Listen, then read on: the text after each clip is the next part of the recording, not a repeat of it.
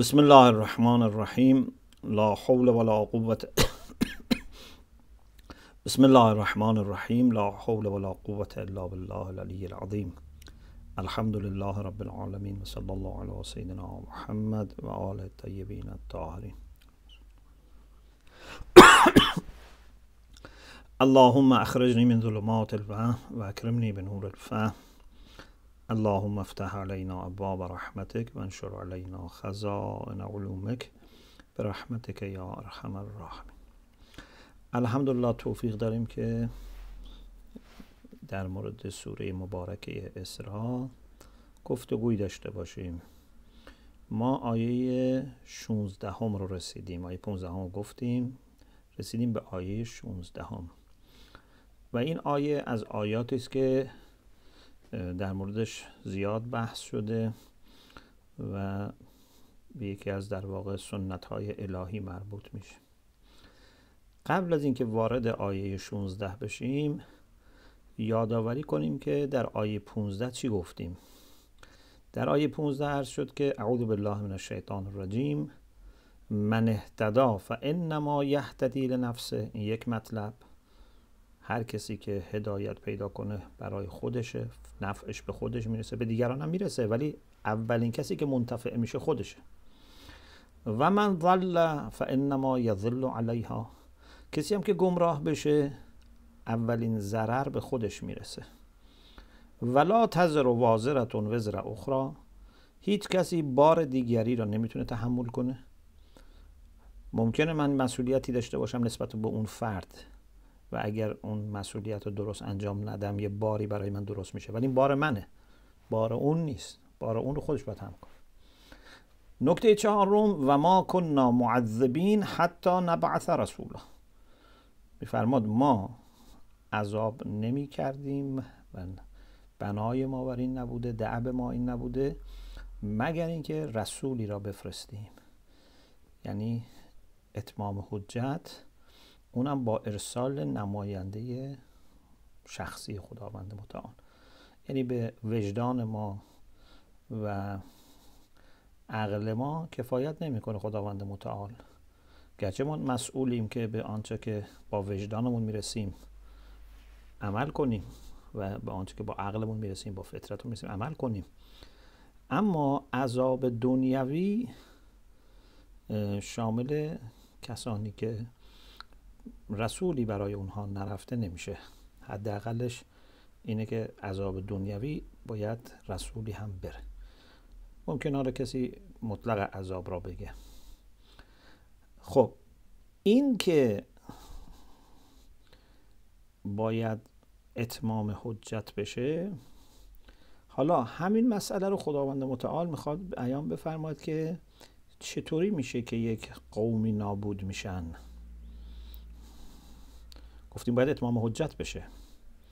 خب بعد از اتمام حجت چی میشه؟ میفرماد و اذا اردنا ان نهلک قریتا امرنا مترفیها. اگر ما بخواهیم یک قریه ای را یک جای را گاهی قریه ممکنه یک شهرکی باشه شهری باشه همیشه به معنای روستا نیست. اگر قرار شد ما قریه ای را هلاک کنیم باید بهشون اول امر بکنیم. ببینید من چجوری معنا می‌کنم. حالا شما هم خودتون فکر کنید هم کتاب های دیگر رو ببینید. من اینجوری در واقع دارم ارتباطش رو بیان می‌کنم. گفتی باید اتمام حجت بشه. پس اول چیکار می‌کنیم؟ امر می‌کنیم. یعنی امر به طاعت. اولی اتمام حجتی می‌کنیم. کیا رو امر می‌کنیم؟ همه رو. اما به طور مشخص افراد تاثیرگذار اونهایی که ثروتمندان و خلاصه متنفذین اون جامعه هستند منتها ممکنه که متاسفانه دچار تقیان شدن. ان الانسان لیطغى ان رآه خب پس امر صورت می‌گیره. اما اینا چه کار می‌کنن؟ اطاعت می‌کنن؟ نه. اگه اطاعت می‌کردن که نابود نمی‌شدن؟ ففسقو فیها. اینها فسق در اون قریه انجام میدن. یعنی یه چیز کوچولویی هم نیست که مثلا یه کار فردی مثلا تو خونهشون یه گناهی بکنن. در قریه فسق انجام میدن ظاهرش اینه که یعنی اصلا در سطح اجتماع فسق صورت می‌گیره. اگر اینقدر تهاشی داشتن و عبا داشتن از اینکه گناه ها علنی بشه و مخالفت با خداوند علنی بشه ممکن بود عذاب نمی شدن اما اینا در قریه فسق می‌کنن. حالا یه قسمتش اینه که گناهان شخصی ولی قسمت زیادش اینه که ظلم. چون ظلم معمولا در کجاست؟ اون ظلمی که خیلی ویرانگره ظلم به دیگرانه. ممکن انسان به خودش هم ظلم بکنه ممکن انسان به خانواده خودش هم ظلم بکنه. اما معمولا ظالمین به این حد بسنده نمی‌کنن. ظالمین سعی می‌کنن به هر کسی که دستشون رسید ظلم بکنن. هر کسی که بخواد مخالفتی بکنه یا هر کسی که یه چیز خوبی داشته باشه که به درد اینا بخوره اینها می‌خوان تصاحب بکنن. بنابراین فسق در اون قریه ها قطعا یه بخشش ظلم هست و روابط ناسحیح انسانی یه قسمتش هم گناهان آشکار اون وقت خب معلومه کسانی می‌تونن این گناه ها رو انجام بدن و این به خصوص ظلم رو انجام بدن که یک نفوذی قدرتی داشته باشن. فقرا که نمی‌تونن چندان کاری بکنن. افراد ضعیف که نمی‌تونن چندان کاری بکنن. مترفین می‌تونن این کارو بکنن. ففسقو فیها. پس دلیل اینکه اینها به طور خاص ذکر شدن تأثیر گذار بودنشون هست و اینکه متاسفانه این گرایش وجود داره که انسان بین که خودشو بی نیاز ببینه ممکنه تقیان کنه. کلیت نداره ولی خب عمومیت داره. یعنی زیاده. فحق علیها القول. بعد بر اون قریه کلام ما قطعی میشه. یعنی چه کلامی؟ یعنی همون قوینا که مثلا داشتیم قبلا. یعنی یک اراده مسجل قطعی برای اینکه اینها باید مجازات بشن. گناه از یک حدی که بگذره در همین دنیا متوقف میشه. یه موقعی مثلا فرد بفرمایید. یه کسی مثلا سوار قطار شده. تو قطار نظم قطار رو به هم می‌زنه. مزاحم هم یاش میشه یا مسافر دیگه میشه. این رو چیکار می‌کنن؟ این رو صبر می‌کنن تا رسیدن به مقصد اونجا به پلیس تحویلش میدن. گاهی نه این انقدر دیگه داره اذیت می‌کنه. اصلا ممکنه که قطار رو متوقف کنن و این رو پیاده کنن یا حداقل اینکه اولین ایستگاهی که بتونه وایس قطار اگه تو بیابونم نشد گاهی که ممکنه بیابون پیاده کنه. اگر نه اولین ایستگاهی که بتونن وایسن باید بهش رسیدگی بشه. چون این دیگه نمیشه صبر کرد تا موقع. حالا دنیا هم اینجوریه. گاهی این گناهان به گونه است که میشه صبر کرد تا روز قیامت. گرچه تو همین دنیا هم یک پاسخهایی هست حتما. اما خب پاسخها در حدی ممکن نباشه که طرف متوجه شه. یعنی مثلا دچار فشار روحی میشه دچار عذاب روحی میشه زندگیش بی معنا میشه. اطرافیانش مثلا باش بد میشن. ولی خب نمی‌فهمه یا بفهمم انقدر مست قدرته که حالیش نمیشه. تا آخر می‌دونه. اما گاهی نه باید دیگه همینجا متوقف بشه. مثل فرعون دیگه. وقتی که به حد انه تقا تقیان کرده. این دیگه از حد گذشته اینو ما باید سریع لازم از قطار پیادش کنیم. انه تقا. پس اگر گناه به خصوص ظلم تقیان به حد بالایی برسه تو همین دنیا پاسخ داده میشه. فدمرناها تدمیرها. او قریه رو حسابی تدمیر می‌کنیم. البته اگر تو اون قریه افراد بیگناهی باشند که به وظیفه امر معروف و نهی از منکر خودشون عمل کرده باشند قریه از بین نمیره. خدا یه جوری اونها رو اگر قریه نابود بخواد بشه اونها رو باید نجات بده. مثل مثلا مواردی که در قرآن اشاره می‌کنه که خداوند نجات داد. مثلا خانواده حضرت لوط را غیر از همسرش رو نجات داد. آدمی که خوب باشه و به وظایف فردی و اجتماعیش عمل کرده باشه اون هلاک نمیشه. فدمرناها تدمیرا. خب این جوریست که من متوجه میشم و فکر می‌کنم که می‌خوره با قبل آیه و بعد آیه و اینا. بعضی هم جورای دیگری تفسیر کردن. امره رو به معنای اکثره گرفتن اکثار. امرنا مطرفی ها یعنی گفتن که مطرفینش رو زیاد می‌کنیم. اگر بخوایم یه قریه نابود بشه مطرفین رو زیاد می‌کنیم.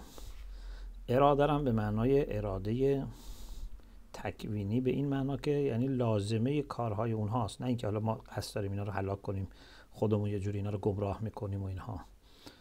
نه یعنی اگه قرار شد که یک جامعه هلاک بشه از طریق مطرفینش هلاک میشه. حالا اینجا بحثایی برحال شده ولی من فکر می‌کنم که اون معنایی که گفتیم شاید شسته رفته تر باشه. والله العالم. پس بنابراین خداوند متعال تا اتمام حجت نکنه تا رسولی را نفرسته عذاب نمی‌کنه. و عذاب دنیوی هم به گونه است که اتمام حجت میشه امر و نهی میشه هدایت و ارشاد میشه. اما یه تقیان می‌کنن در روابط اجتماعی به خصوص فسق می‌کنن و دیگه حق علیه القول. دیگه به جای می‌رسه که دیگه باید اینها عذاب بشن. این یه سنتی است و قطعی هست که اینطوری میشه. خب حالا نمونه های هم بوده. این یه چیز تئوری نیست که مثلا بگیم یه قانون نیست که تا حال پیاده نشده مثلا مورد نداشت. اگه مورد نداشت که بیان نمیفرمود. به طور مشخص بعد از حضرت نوح این زیاد چند مورد اتفاق افتاده. و کم اهلکنا من القرون من بعد نوح. چه بسیار قرون. قرون جمع قرنه نه اینجا به معنای صد سال. یعنی گروه ها جماعت ها اقوام. چه بسا اقوامی را گروههایی را ما بعد از نوح هلاک کردیم. فرمودن که شاید علت اینکه بعد از نوح میفرماد چون قبل از حضرت نوح روابط اجتماعی خیلی ساده بوده و شاید به اون معنا استعمار و نمی‌دونم استثمار و ظلم و اینها نبوده. و گفتیم قبلا هم که به نظر میاد که الله می‌فهمد که اولین شریعت اولین قوانین مدون به حضرت نوح داده شده. شرع لکم من الدین ما وصا به نوحن ایشون اونجا می‌فهمد که شاید قبل از حضرت نوح شریعتی نبوده احکامی بوده اوامری بوده اخلاقی یا حتی شرعی ولی نه در حدی که یک دستورالعمل نظاممند جامع الاطراف باشه که هر حکمی یعنی هر فعلی یا حکمی داشته باشه. خلاصه از زمان حضرت نوح ما دیگه شریعت داریم و معلوم میشه که یعنی از حول حوش حضرت نوح هست که جوامع پیچیده تر شده روابط اجتماعیشون اینا. مثلا قوم عاد قوم ثمود قوم لوط اینها قوم هایی هستند که نزدیک به هم بودن و پس از حضرت نوح و اینها هلاک شدن. و کفا به ربک به ذنوب عبادهی خبیرا بصیرا. و خدای تو کفایت می‌کند از حیث اطلاع داشتن به گناهان بندهاش یعنی کسی نمی‌تونه پنهان کنه از خدا اولا و نیاز به گزارش و اینا هم نداره. ممکنه ما شهود داریم. اعضا و جوارای ما هستن فرشته ها هستن حجت خدا اینا شهادت میده ولی نه اینکه این خدا بدون اینا نمی‌دونه. اینا کانال های مختلف شهودی است ولی خودش از همه بیشتر همه چیز را می‌دونه. خبیر هست و بصیرم هست.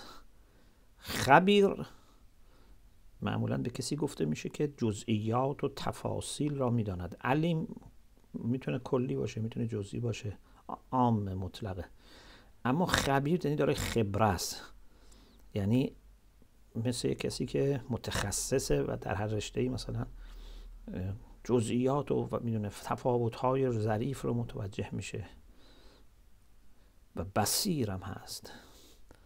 یعنی تصور نکنید که علمش علم کلیه.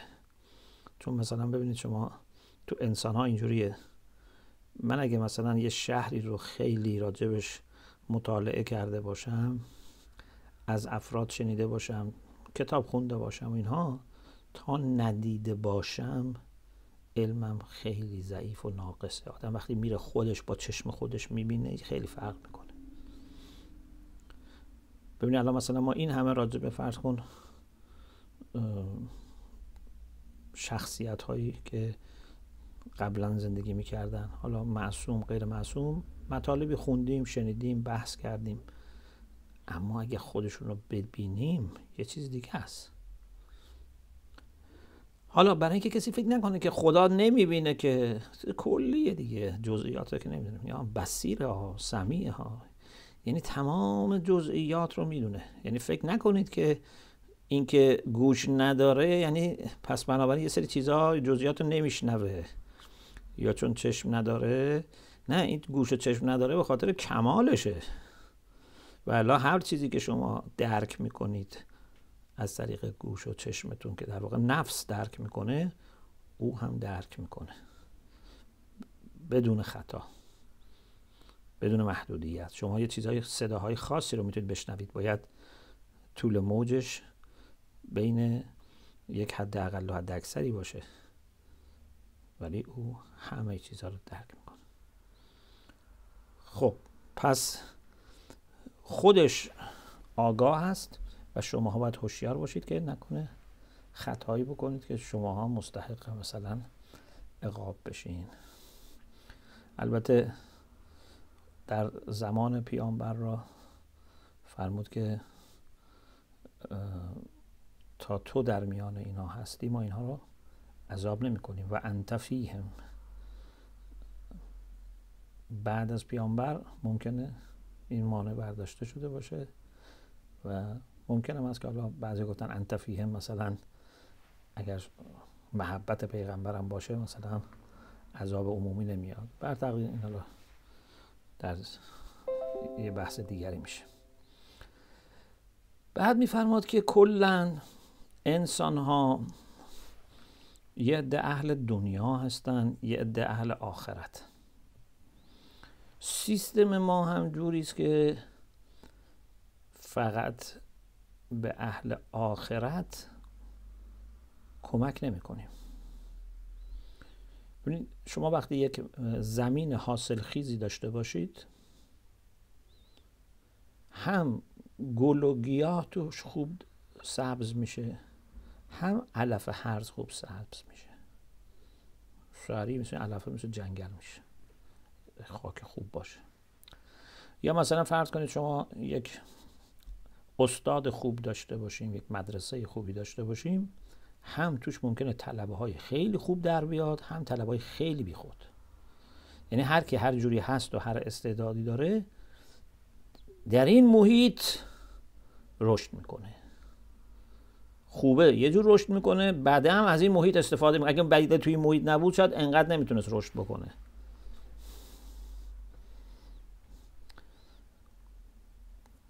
گاهی افراد سوء استفاده می‌کنن از استاد از, از محیط از مدرسه از برنامه از امکانات و خرابتر میشن. پس این دنیا یک زمین حاصل خیزه شما توش چی بیکاری؟ هر چیزی که توش بکاری رویشی خواهد داشت. رشدی خواهد داشت. و به خصوص اگه کسی هدفش فقط دنیا باشه و هیچ آخرتی نداشته باشه خب خداوند نتیجه زحماتش رو و تو همین دنیا بهش میده دیگه چون هیچ اجری نباید ضایع بشه حالا کسی فقط برای پول کار علمی کرده مثلا زحمت کشیده یا بنایی کرده صنعتگری کرده برای پول. خب بالاخره این زحماتش رو باید یه جای اجرش رو ببینه دیگه. ولی اگه برای آخرت نبوده یا قبول نداره بخاطر تو دنیا یه چیزی باید بهش بدیم. نسبت به اون کسی که هیچ تلاشی نکرده زحمتی نکرده نداشته. پس میفرماد که من کان یرید العاجله. اگه یه کسی دنبال عاجله است یعنی همین دنیا دنیایی که شتابان میاد و میره. عجلنا له فیها ما نشاء لمن نرید. ما تعجیل می‌کنیم برای این شخصی که دنبال دنیا هست منتها با دو قید. نه که هرچی بخواد بهش میدیم. ما نشا رو میدیم و به من نورید میدیم. یعنی بنا داریم بدیم. اما ممکنه محدودیت هم باشه.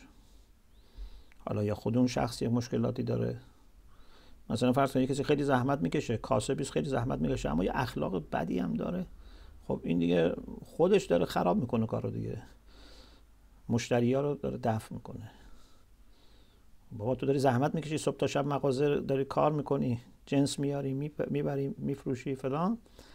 اما اخلاق بدت نمی‌ذاره به اون هدف دنیاییت برسی. یا اگه چیزهای بیشتر از اندازه خودش بخواد مثلا بخواد با یه مغازه مثلا برسه به مثلا میلیاردر بشه در کل دنیا مثلا بیزینس داشته باشه خب با این نمیشه که.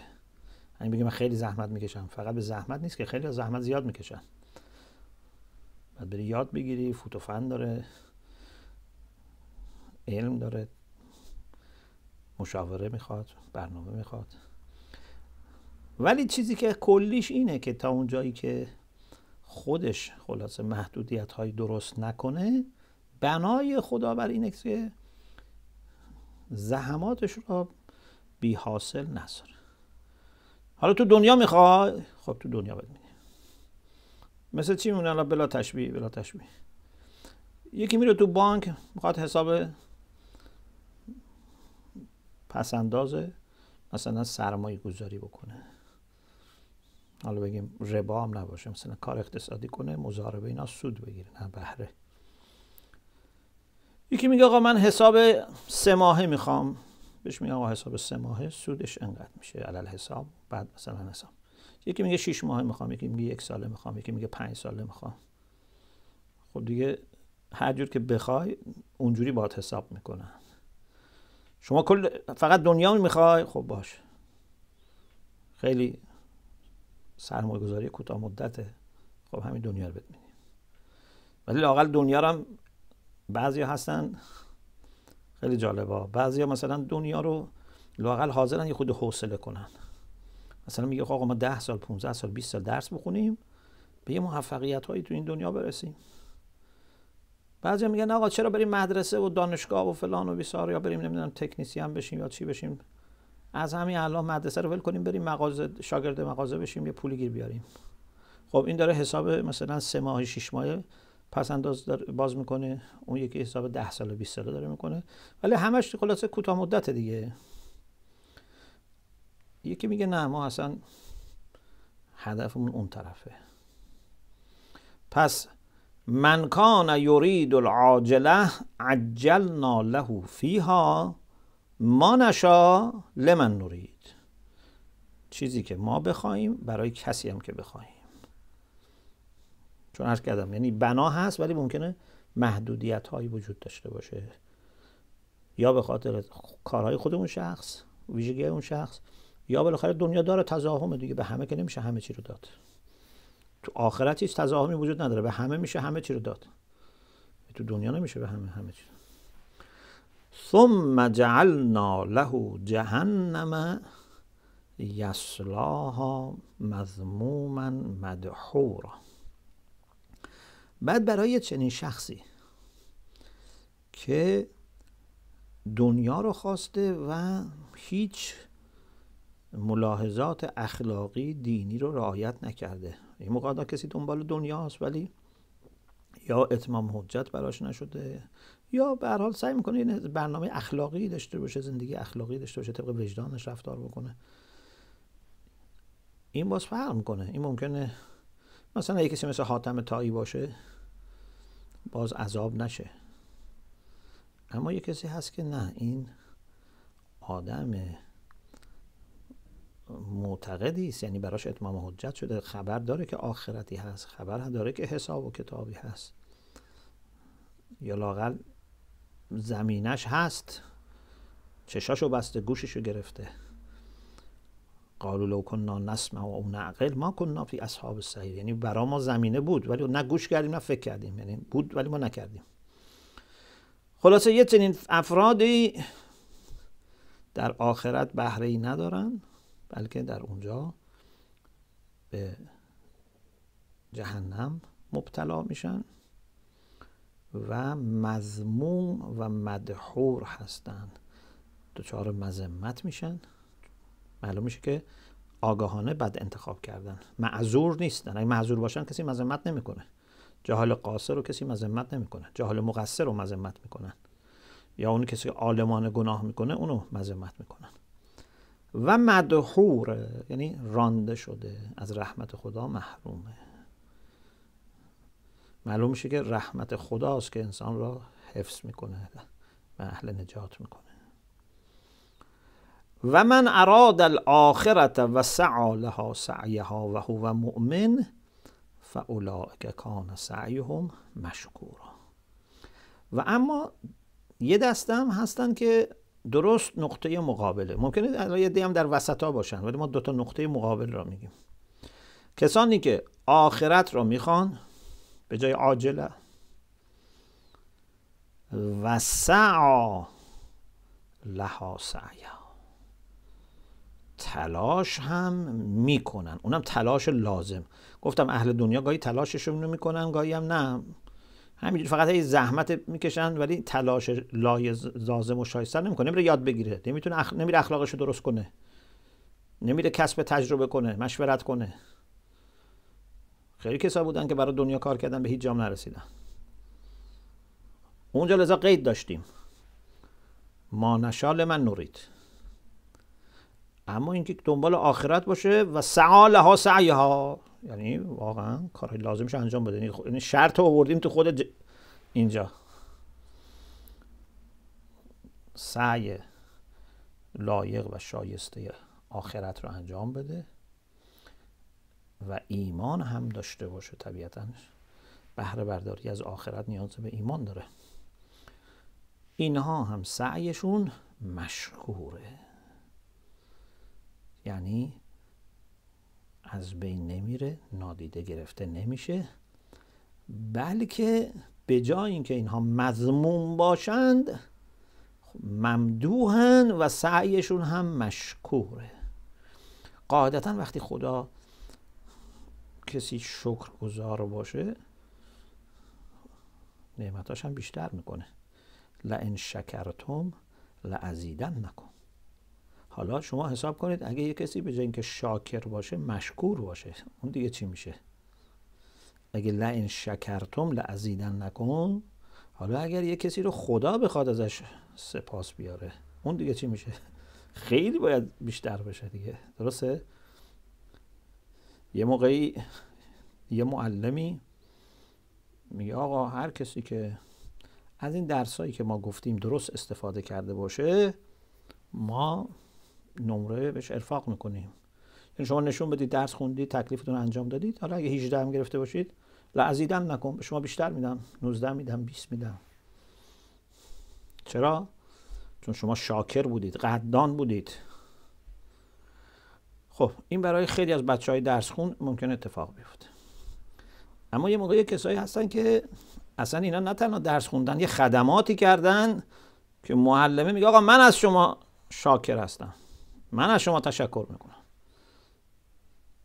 اینا به خودشون و دیگران خدماتی کردن. به معلم در اهدافش کمک کردن. معلم شکر می‌کنه. این دیگه خیلی بالاتره دیگه. معلم اگه شکر بکنه دیگه خیلی بالاتر. بنابراین اولئک کان سعیهم مشکورا. سعیشون مشکوره. چون خداوند شاکر و شکوره و چیز خوبی انجام بشه برای خدا باشه خالص باشه شکر می‌کنه. که کان سعیهم مشکور. بعد میفرماد کلا نمد هاولا و هاولا من عطا ربک. ارز کردم زمین حاصل خیزه همه استفاده می‌کنه میفرماد هم اون اولیا رو امداد می‌کنیم. هم این دومی ها رو امداد می‌کنیم من عطا ربک. از بخشش پروردگارت اینا همه بهشون میدیم. خیلی هم جالبه چقدر خدا با پیغمبر خودمونی صحبت می‌کنه. ما من عطاء ربک و ما کان عطاء ربک محظورا مثلا فرض بفرمایید مثلا من یه معلمی هستم بچم از من می‌پرسه که مثلا شما چی کار می‌کنه میگیم که مثلا بابات این کارو می‌کنه. بابات مثلا با شاگردای خوب این کارو می‌کنه. بابات با شاگردای مثلا نخاله و خلاصه ناقلا این کارو می‌کنه و اینا و بابات کلا خب به همه کمک می‌کنه. این صمیمیته. خدا با پیغمبر اینجوری صحبت می‌کنه. که البته به ما منتقل میشه دیگه. یعنی ما باید این صمیمیت رو احساس کنیم. اذا سألک عبادی انی فانی قریبون. حتی نمی‌خواد که پیغمبرم بین ما واسطه باشه. نمیگه بگو که من قریبم فوری خودش میگه فانی قریبون. مثل اونه که بچه میاد خونه مثلا به مامان میگه که بابا کجاست؟ بعد بابای خودش میگه من اینجا یا میگه به بابا میگه مامان کجاست؟ مامان میگه من اینجا یا میگه اگه بچم سوال کرد من خودم جوابشو میدم. برحال باید با این نزدیکی رو احساس کنیم. و ما کان عطاء ربک محظورا. کلا بخشش پروردگار تو محظور نیست یعنی ممنوع نیست منع نشده. ببین شما اگه برید زیر آبشار نیاگارا آب آبشار نیاگارا محدودیت نداره. شما چقدر می‌خوای ورداری؟ ظرفت شما چقدره؟ هر کسی به هر اندازه که ظرفیت داشته باشه می‌تونه بند. شما می‌خوای دنیا تو پر کنی می‌خوای آخرت تو پر کنی. در آخرت به چی چی می‌خوای برسی؟ فقط می‌خوای جهنم نری فقط می‌خوای بهش بری. چی می‌خوای؟ چه درجاتی می‌خوای؟ دنیا چی می‌خوای؟ آخرت چی می‌خوای؟ اینا رو دیگه خود ما هستیم که بر اساس اون کاری که می‌کنیم یک لیاقتی رو پیدا می‌کنیم یک ظرفیتی رو پیدا می‌کنیم. ولی او محدودیتی نداره. و ما کان عطا ربک محظورا. بنابراین نتیجهش این میشه که یک اختلافاتی ممکنه ایجاد بشه. تو خود دنیا افراد با هم تفاوت دارن. کی تلاش کرده بیشتر کی از راه درست وارد شده. اجلنا فیها ما اجلنا له فیها ما نشاء لمن نرید. تو آخرت هم که خب باز اختلاف هست. انظر کیف فضلنا بعضهم علی بعض. ببین چطور ما بعضی را بر بعضی دیگه برتری دادیم. اینا سیستم داره اینها حساب و کتاب داره. اگه یه کسی کارش می‌گیره برای تو دنیا تصادفی نیست با شانس و بخت نیست. حساب و کتاب داره. چون ما نمی‌دونیم فکر کنیم شانسیه. ولل آخرت و اکبر و درجات و اکبر و تفضیلا. در آخرت که حتما لام تاکید آخرت که درجات بزرگتره. تفاوت ببینید تفاوت بین مثلا پولدارترین فرد دنیا با پولدار مثلا رده دوم رده سوم رده دهم رده میلیونم. تفاوتش تو چیه؟ خیلی تفاوت هست دیگه. یه کسی می‌بینی آقا مثلا چند صد میلیارد دلار ممکنه سرمایه داره. یکی می‌بینی مثلا یه میلیون دلار داره یکی صد هزار دلار. بخاطر این پولدارا درجاتی دارن. اما همش سر و تشو بزنی چی میشه؟ سر و تش میشه. آقا فرض کن 100 میلیون دلار یک تریلیون دلار. کل دنیا قلیله. اما تو آخرت چقدر فرق هست؟ فرق بین انبیا حالا با اهل بهشت غیر از حالا اونایی که جهنمیان هیچ. اونم خودش خب در درکاتن. اما حالا میگیم با بهشتی ها خدا می‌دونه چقدر تفاوت وجود داره. اینطور نیست که هر کی بره تو بهشت درجهش یکی باشه. دنیا تفاوت بین مثلا 100 هزار دلار و 100 میلیارد دلاره. در آخرت خیلی تفاوت بالاست. یرفع الله الذین آمنوا منکم والذین اوتوا العلم درجات. بر اساس علمشون ایمانشون. مثلا میفرماد که در روایت که تعداد درجات بهش به اندازه آیه های قرآنه. عدد و درج الجنه عدد و آیه القرآن. لذا به هر کسی گفته میشه اقرا وسعت خب حالا مثلا اگه بگیم تعداد آیات قرآن مثلا 6200 تا مثلا حالا 6000 خورده ای یعنی حد... یکی ممکنه در درجه یک باشه یکی در درجه 6200 باشه. یکی در 6109 وقت بین این درجات چقدر فرقه؟ مثلا 100 متر فرقه؟ مثلا میگیم آقا ساختمون مثلا 100 طبقه است ساختمون هزار طبقه است. خب بین ساختمون 100 طبقه و هزار طبقه 900 تا مثلا 3 متر فرقشه چه 3000 متر. اما مثلا بین کوه هیمالایا با کوه دماوند چقدر فرقشه خیلی فرقشه از همه فقط از ارتفاع که بزرگ نمیشه. وقتی ارتفاع میره بالا از دامنه و پهناش و همه چی بزرگ میشه. خلاصه درجات آخرت خیلی فرقش بیشتره. لذا هرچی انسان تلاش بکنه یه مقدار می‌تونه خودش بکشه بالا. یه کار خوب بیشتر. یه لا اله الا الله. یه کمک بیشتر. همینجور با اجری که مضاعف میشه یعنی چند صد هزار برابر میشه اضافه میشه. پس ولل آخرت و اکبر و درجات و اکبر و تفضیلا. درجاتش و اون برتری هاش در آخرت بیشتر هست.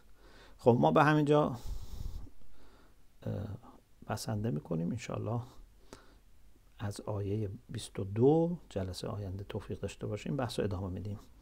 الحمدلله رب العالمین. خیلی ممنون شما. سلامت باشید. خدا حفظتون.